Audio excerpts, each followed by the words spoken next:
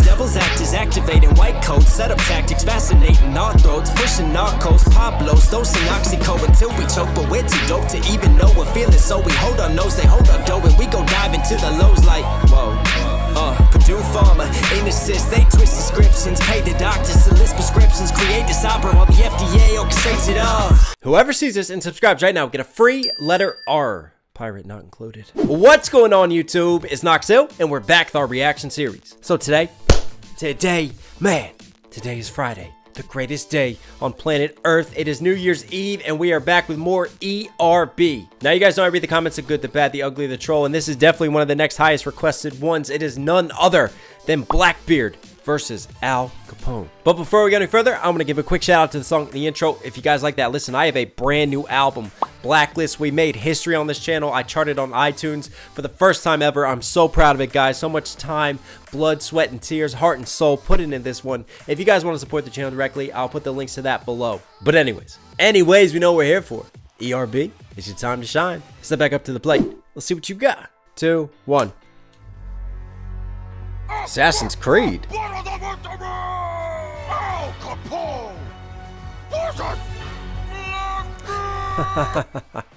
I love the characterizations on ERB. They're always on point. Look at the, the crazy eyes of Blackbeard. Wow. It's gonna haunt my nightmares tonight. I strapped with six pistols and a dagger. Walk under the black flag with a scallywag swagger. Already with the scallywag swagger pirates, infamously known as scallywags. You know, they're they're bastards. They're scallywags. They're scoundrels, aren't they? But also the swagger with which he walks. But swagger back then was also that was booty, wasn't it? That was loot swagger that you could get. And then he walks under the black flag, the black flag that we know as the pirate flag. But actually, fun fact about pirate flags if it was a crimson flag, that meant that they were, yeah, that they were just going to kill you. They weren't going to take prisoners. They weren't going to parlay or play nice. If it was a crimson flag, it was, you're fucked. Yeah, there we go. So not that many pirates actually flew under the uh, the black flag, and then the Six Pistols, because during those times with the uh, salt water in the air and the way that guns were made, they weren't always that reliable. So if you were on a ship at a fight for your life, you would want multiple pistols because if one misfired, you could always grab another one. Please ignore the child that is uh, throwing a tantrum in the other room. It's fine. They get murdered occasionally. Perfectly normal. I with six pistols and a dagger. Walk under the black flag with scallywag swagger. Ain't no pirates on my shoulder and no rings in my ear. I'm an irate pirate, real swashbuckling buccaneer. I'm an irate pirate. I love the way that it, he bent that into the rhyme scheme. And again, just a lot of metaphors, a lot of words being used that relate to pirates. In this case, a synonym for a pirate, a buccaneer. He's a swashbuckling buccaneer. with six pistols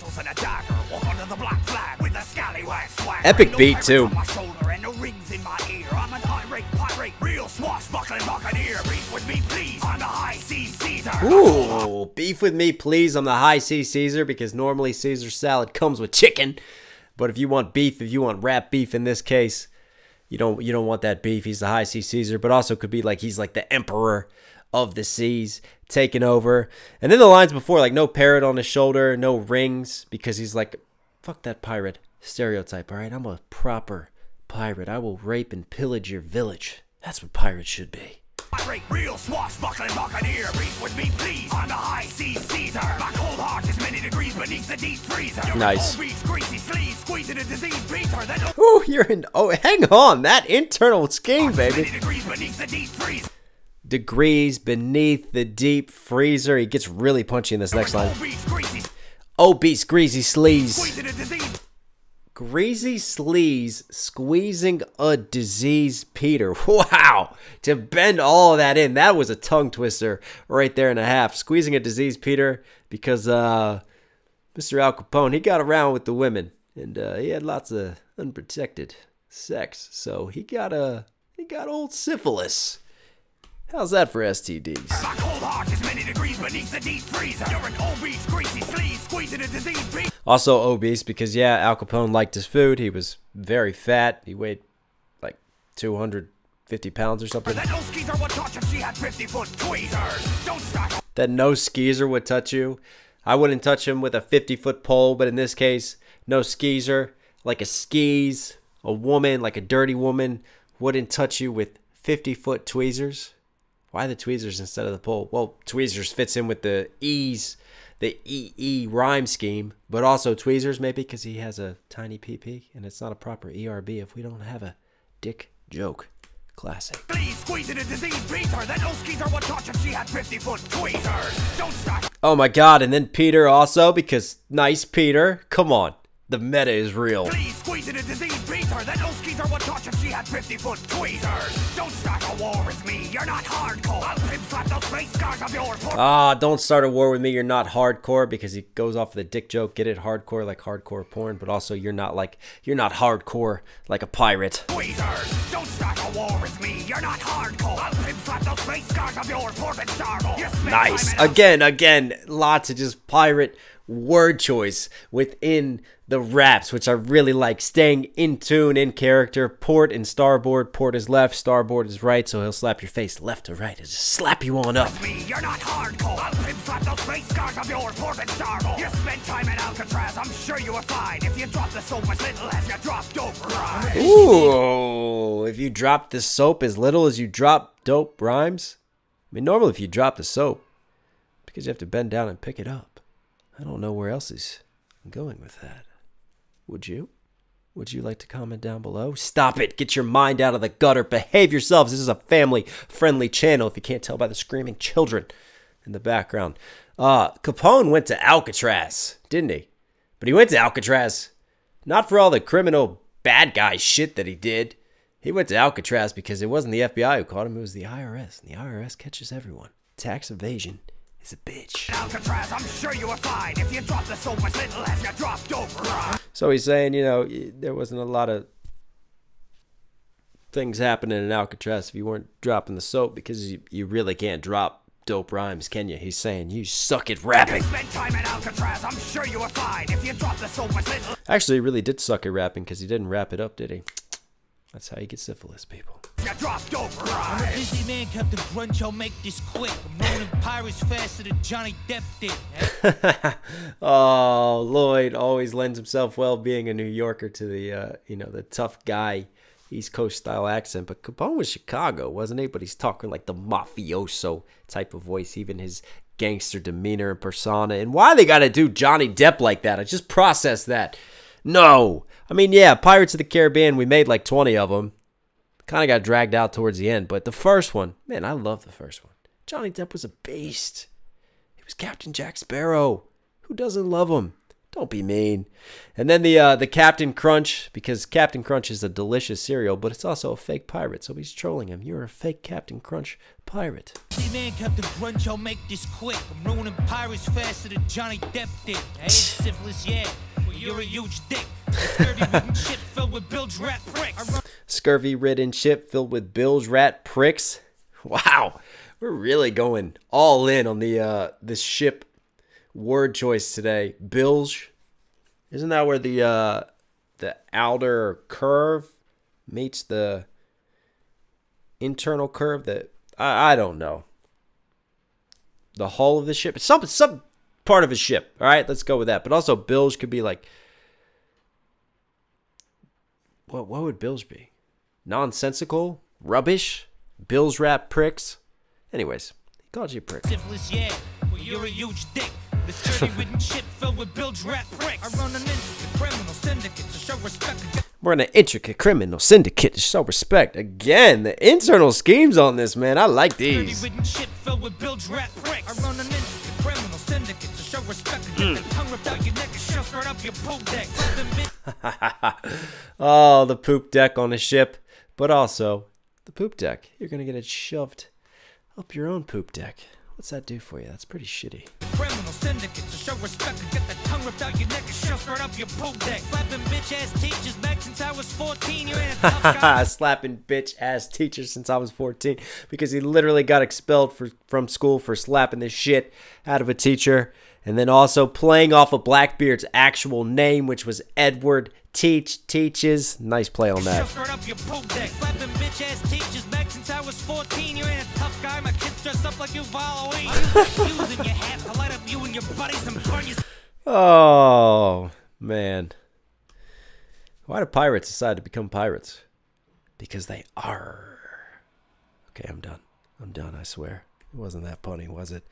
But uh, I like the uh, the Halloween lines. Obviously, we all get that one. All right. If you dressed up as a pirate for Halloween, I'm sorry, your mom sucks. Your neck is shoved right up your poop deck. Slapping bitch ass teachers back since I was 14. You ain't a tough guy. My kids dress up like you Halloween. I use that fuse in your hat to light up you and your buddies and burn your down and collect the insurance money. Then maybe they yeah. Uh, typical tactic of the uh, mafioso gangsters at the time. You know, burn a building down, collect the insurance money on it, but also collect the insurance money could be like for protection because mobs involved in a lot of racketeering of local businesses at the time. And then uh, Blackbeard with the fuse in his hat. What was the story? He used to have like candles in his hair and like fuses in his hair, and he would light himself literally like on fire, like smoke coming out of him because he wanted to be like demonic and menacing. But actually, he's got a pretty badass story in terms of how he went. Uh, because in in the final fight, the anecdotes from that are, you know, he was cut up like 15 times and he was even shot and he fought on and they say he just fought like a demon possessed, but eventually got his head chopped off in the end by uh what's the name of the dude? John Maynard. Yeah? Yeah, it was Maynard. teachers back since I was 14. You ain't a tough guy. My kids dress up like you Halloween. I use that fuse in your hat to light up you and your buddies and burn your sailboat down and collect the insurance money. then maybe they find your bloated body dead and washed. And then sailboat too could be a, a little bit more intricate play because uh Blackbeard's first ship was actually a French merchant ship? No, it was a French slave ship, I think. But yeah, anyway, so he commandeered a French ship and then converted it into a pirate ship. and burn your sailboat down and collect the insurance money. Then maybe they find your bloated body dead washed up on a beach. It's a Capone rapid. I'm capping his captain. Capiche? Ooh, oh, I'm capping this captain. Oh, that might be my favorite wordplay so far. I used something similar to that on my uh, Marvel villain cipher with Nerd Out. Shout out to Nerd Out Music. But capping this captain like he's busting a cap in that ass, but also cap plays on captain. Could also be like Blackbeard is coming with a lot of cap, and then they'll find your bloated body again, referencing the fact that uh, he was separated head from his body, so they just let his body wash up somewhere while uh, they returned his head to collect the money, the ransom money, not ransom money, the uh, bounty on his head. Bloated body dead and washed up on a beach. It's a Capone rapid. I'm capping his captain. Capiche? Valentine And then capiche, you know, again, very mafioso Italian, capiche. massacre brought you. Beach. It's a Capone rapid. I'm capping his captain. A Capiche? Arr, Valentine's massacre brought you condemnation. But I'm gonna sink you faster than your income tax evasion. When Ah, there it is. Your income tax evasion. Oh man, the IRS, the ultimate enemy of Capone. massacre brought you condemnation. And then the Valentine's massacre. That was when uh he had a bunch of his men dress up as as popos, and they took out a rival gang. They lined them up like they were doing a, a search on them, and then they just blasted them with machine guns. And he never actually got in trouble for the Valentine's massacre. Also, the Valentine's massacre. Shout out to the 50 Cent album, which was named after that of Capone's Valentine's massacre. But you know, you got to remember a lot of these guys at the time.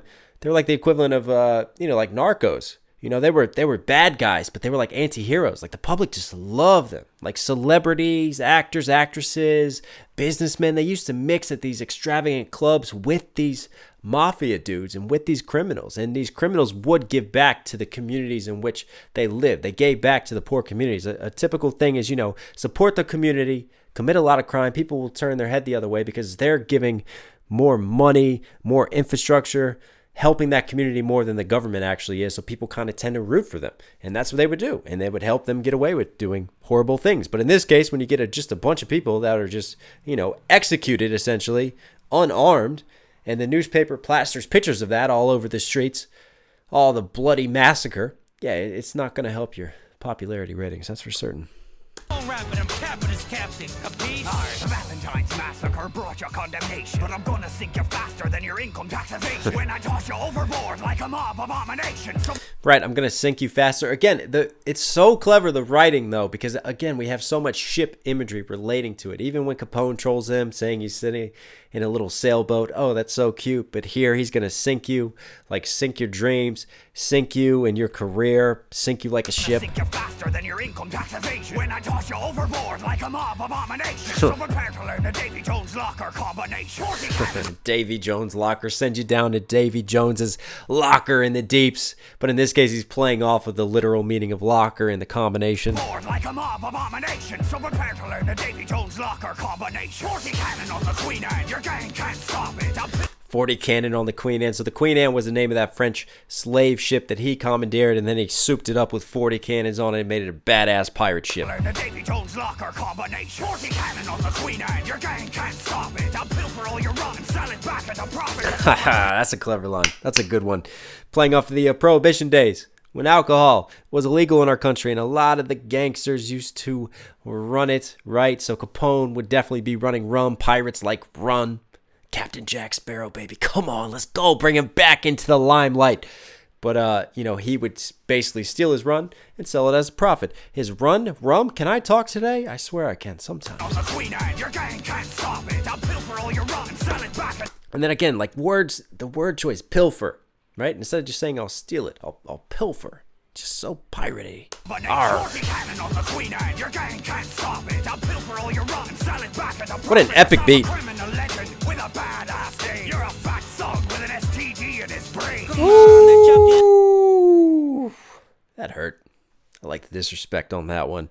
Because again, syphilis, if untreated, goes into your spinal cord, into your brain. So in this case, it did. He had, a, I don't remember the name of it, brainosyphilis. Let's call it that. That's my medical term for the day. But yeah, it was untreated. So, and think about the names. Well, Al Capone is a pretty cool name, if I'm being honest with you. But Blackbeard, yeah, Blackbeard's pretty epic. I'm gonna name my next child Blackbeard. With a badass name. You're a fat thug with an STD in his brain. Come on, they chopped your head off when they hung it from a rope. You only love The fuck? Thug with an STD in his brain. Come on, they Why is there an ass- Oh yeah, because it's sponsored by Assassin's Creed. There's just a an Assassin's Creed character just chilling behind Capone there. chopped your head off when they hung it from a rope. The only legend you left was your prohibition on soap. I mean, that rat there- oh, I like that one.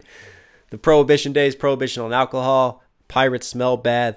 They could definitely use with soap and a shower. So he had a prohibition on soap. I like that. And then yeah, he had his head chopped off, tied to a rope on the side of Maynard's ship as he sailed off with it, showing yeah, I fucked you up, Hung Blackbeard. it from a rope. The only legend you left was your prohibition on soap. I mean, that rat this bed strapped so many crumbs. This bum who got Marona still in lunch for a month. This bum could get maroon. Just the the cadence of Lloyd's delivery is great, man. Rat's nest for a beard. He's got a bunch of rodents in there. He could he could survive on that because again, he's saying you you smell bad, you're stinky, and uh, you just you, you need a shower. You don't have very good hygiene. Rat's nest again, more ship terms and references. No, no, I'm thinking crow's nest, but yeah. this bed strapped so many crumbs. This bum who got Marona still in lunch for a month. I'm the MC assassin. Oh. Like Okay, well, uh, violence is fun. Got Marona still in lunch for a month. I'm the MC Look at this. I mean, he's just yep, sword to the face. Slice like Edward Kenway. Ooh, right through the heart. MC Assassin slash like Edward Kenway. I'm guessing Edward Kenway is a Assassin's Creed reference. What was the name of the Assassin's Creed they were promoting? Black Sail, wasn't it? Black Flag? Can't remember. Rap so hard, call me Al Dente. You're a slow I like how the beat just drops out for that punchline. Al dente, rap so hard. When you have food, al dente, which is the proper way to have pasta. People, listen, here's your tip. Next time you're cooking pasta, if it says cook it for 10 minutes, cook that bitch for 7 minutes. All right, pull it out because it'll keep cooking. Because once you put the sauce on it, the sauce cooks it. Think about it. If you cook it for 10, it's already cooked. Then it keeps cooking because all the steam traps itself. Then you put the sauce on, and then it gets overcooked and it's too soft. Okay? Pasta is better when it's got just a little bit. I'm not saying it's got to be crunchy, just a little bit to it. You know what I'm saying? Al dente. It's to save lives. like Edward Kenway. Rap so hard, call me Al Dente. Take your sloop John B and go home. Sloop John B.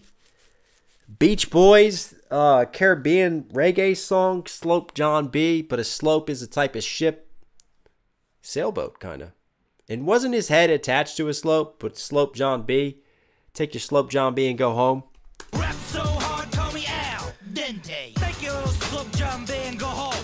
And also, wasn't the historical reference that started the song in the first place the Sloop John B. Because they all just basically got wasted and party all the time and they were just wild criminals on the John B. I think so. Rap so hard, call me Al. hey, thank John B, and go home. Tell South Carolina, Blackbeard got Capone. Got pwned, like getting pwned in a game, playing off of his name, Capone. Very appropriate. Final Assassin's Creed shout out there as well. Tell South Carolina. Uh, fun theory about Blackbeard is that they say he was born in England, but I remember one scholar came up with this theory that he was actually born in South Carolina. And it relates also to the fact that uh, Blackbeard actually held the entire town of Charleston in South Carolina hostage. And he had this huge blockade of the town and collected a bunch of hostages and just held them all for ransom, the city's people and the and the trade routes around Charleston. And the funny thing was he didn't want gold, he didn't ask for money. They asked for a bunch of drugs. They wanted medication because a lot of them, which is ironic, him dissing uh, Blackbeard, a lot of them had syphilis and other STDs and stuff and scurvy. So they were literally given just like a box full of drugs. That's what they held the entire town of Charleston ransom for. Yeah, that's our fun uh, historical fact for the day. Let's keep it rolling.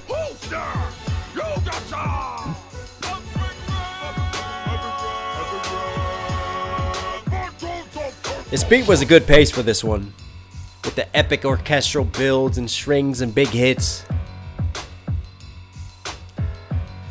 Yeah, Black Flag, that's the name of it.